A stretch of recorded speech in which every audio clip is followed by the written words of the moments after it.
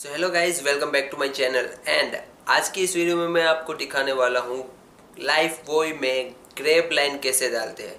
Basically मैंने आज की इस वीडियो अपने फ्री टाइम में जाके स्पेशली बनाने के लिए सोचा। बिकॉज़ uh, बहुत सारा ऐसा काम है जहाज़ पे जो बहुत सालों के बाद मतलब कभी कभार आपको चार पाँच कॉन्ट्रैक्ट किया उसमें एक बार करने मिलता है। या फिर कभी कभी कोई कोई लोग ऐसे जिनका बहुत सारे वेसल्स हो गए कभी चेंज नहीं किया। सो ग्रेब लाइन जो लाइफ बॉय के आसपास वाली जो ग्रेब लाइन है, वो कैसे चेंज करते हैं, वो आज की इस वीडियो में मैं आपको दिखाने वाला हूँ। मार्किंग कैसे करना है आपको? इजी होगा उसके लिए एग्जैक्ट आपको लाइन मार्किंग आएगा, वो सब दिखाया है मैंने। और स्पेशली ये L S F F A का काम है। सो लाइफ सेविंग अप्लायंसिस और फायर फाइटिंग अप्लायंसिस के अंदर आता है ये सब काम। सो नॉर्मली ऑफिसर्स करते हैं, लेकिन बेटर आप सभी लोगों को मालूम होना चाहिए रेटिंग्स को भी मालूम होना चाहिए ऑफिसर्स को भी मालूम होना चाहिए। सो कैडेट लोग स्पेशली थर्ड ऑफिसर हो गया या फिर A B bosun O S उन लोग को मालूम रहेगा। सो इसके लिए जस्ट रिमाइंडर के लिए ये वीडियो बनाया है। सो so, मैंने नॉर्मली एक क्लिप डाल रखा है और अलग से जो कि मैंने अपने केबिन में आप लोगों को दिखाया है। वो थोड़ा एक क्लोजअप वीडियो बनाया हुआ है। सो so, होपफुली आप लोग को समझ में आ जाएगा उसमें। सो so, चलिए मैं ले चलता हूँ आपको लाइफ बॉय में ग्रेब लाइन कैसे डालते हैं। So stay tune so basically आप लोगों को कुछ इस तरह से मार्किंग कर लेना है मार्कर आपके पास रखना है। जो लास्ट वाला लाइफ बॉय है उनकी लाइन के थ्रू इस तरह से राउंड शेप वहाँ पे करके इस तरह से दोनों साइड मार्किंग कर लेना है। सेम सभी होल्स के पास मार्किंग कर लेना है।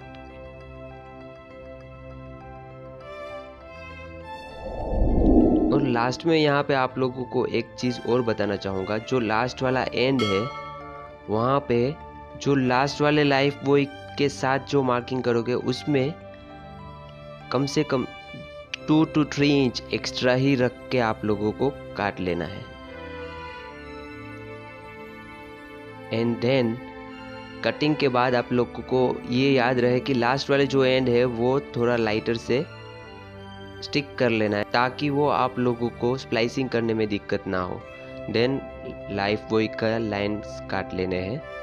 एंड देन आप जब यहाँ पे रोप आपको डालना है, तब आप नीचे से ऊपर या ऊपर से नीचे कौन से भी साइड डाल सकते हो। लेकिन ये याद रखना है कि आप जब थ्री स्ट्रेन रोप है, उसमें एक स्ट्रेन उठा के उसके बीच में से पास करना है।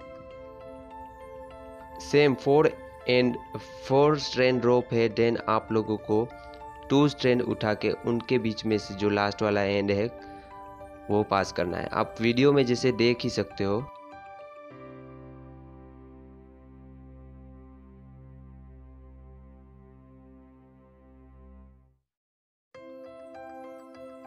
कि वहाँ तक मार्किंग और इतना याद रहे कि आप लोगों को मार्किंग जहाँ से किया है, वहाँ से लाइन इस तरह से अंदर रख के देखना है ताकि सभी लाइन्स इतनी उतनी आनी चाहिए अंदर। एंड देन सेम चीज़ करना है लास्ट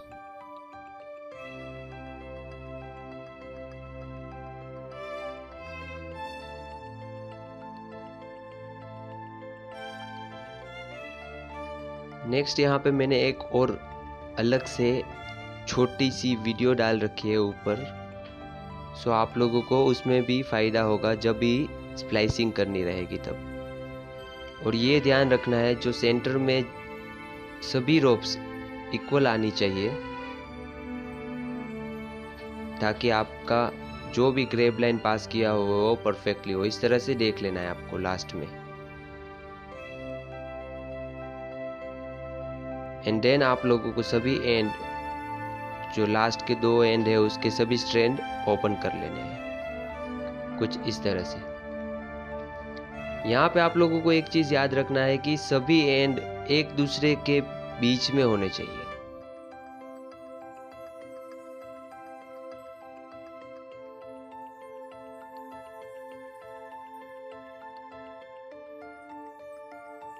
यहाँ पे एक टिप है, आप चाहे तो एक साइड पे टेप भी मार सकते हो। आपको थोड़ा इजी हो जाएगा और दोनों को इस तरह से टाइट पकड़ के रखना है। ये ध्यान रखना है कि यहाँ पे स्ट्रेंथ देख सकते हो आप। एक को ओवरलेप होके दूसरा ओपन करना है, जैसे कि ये वाला। एंड देन ओवरलेप करना है और ये ध्यान रखना है कि आपको right hand to left hand side ही डालने हैं, सभी एंड सभी एंड्स आपको राइट टू लेफ़्ट ही डालने हैं, ये बिल्कुल ध्यान में रखना है।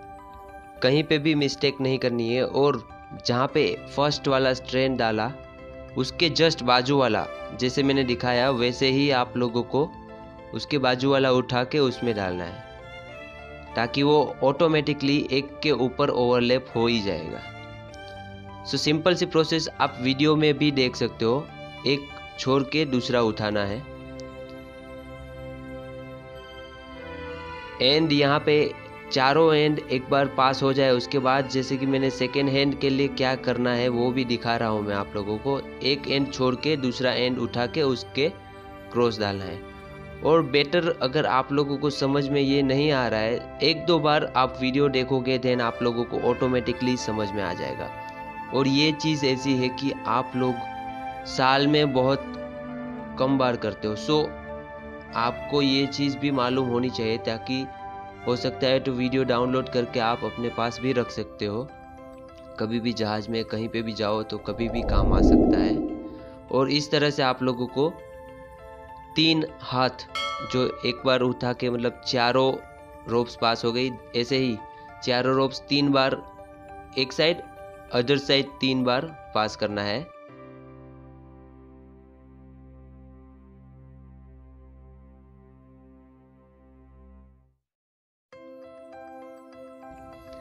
एंड कुछ इस तरह से हाथ से कर लेना है ताकि आप लोगों को कुछ प्रॉब्लम ना हो।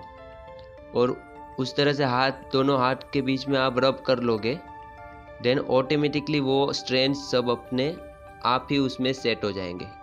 सो so, इसी तरह से आप लोगों को सेम दूसरे साइड भी कर लेना है। एंड देन लास्ट में रब कर लोगे आप तो ऑटोमेटिकली सब सेट हो जाएगा उसमें। लेकिन ये ध्यान रखना है कि एक छोड़ के एक एक को ओवरलेप होके डालना है आप लोग को और राइट टू लेफ़्ट डालना है। ये बिल्कुल ध्यान रखने वाली चीज़ है। चारों स्ट्रेन या तीनों स्ट्रेन राइट टू लेफ़्ट ही डालना है। एक भी लेफ़्ट टू राइट नहीं करना है। एंड देन आप कुछ इस तरह से रब कर लोगे। आपका लाइफ बॉय में ग्रेब लाइन सेट हो गया। अभी लास्ट में फिनिशिंग कैसे करना है, वो भी मैं आप लोगों को बताता हूँ। और इस तरह से पूरा हो जाने के बाद, आप लोगों को जो लास्ट के एंड बचे हुए हैं, वो हाफ़ इंच छोड़ के कुछ इस तरह से काट लेने हैं सब।